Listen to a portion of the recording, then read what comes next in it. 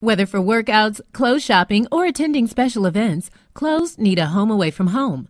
To maintain order and security, locker room, coat room, and dressing room attendants are on the job. Locker room attendants work in athletic facilities. They assign lockers, rent footwear, or other gear, answer members' questions, and explain how to use equipment. They may clean and restock supplies for the locker room. Coat room attendants check coats and other items for customers of dining and theater establishments.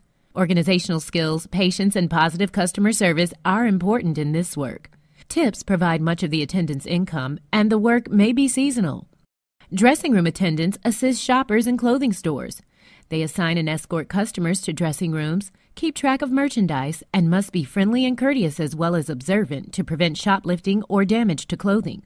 While training is provided on the job, a high school diploma is a plus for these positions.